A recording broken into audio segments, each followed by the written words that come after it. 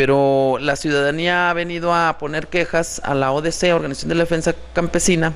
este, en las colonias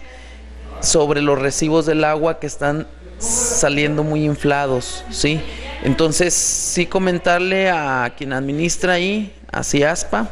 y al mismo municipio, que este, la queja viene generalizada. Tenemos el caso de la señora Rosa Emma Melero Ortiz, que, quien es discapacitada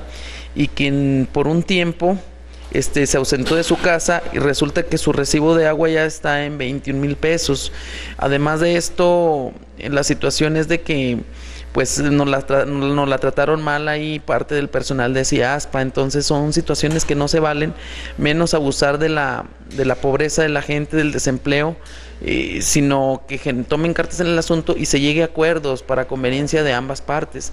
Y sí exigir, hacer un llamado al gobierno municipal de que tome cartas en el asunto y de que no nos esté inflando en el municipio de Santiago pues los recibos del agua porque afectan a la mayoría. Sí nos parece delicado porque es una persona discapacitada, es una persona desamparada, es una persona desempleada, es una madre soltera, la cual tiene derechos, ¿sí? Y el cortarle ahorita el agua a una persona, este, pues está tentando con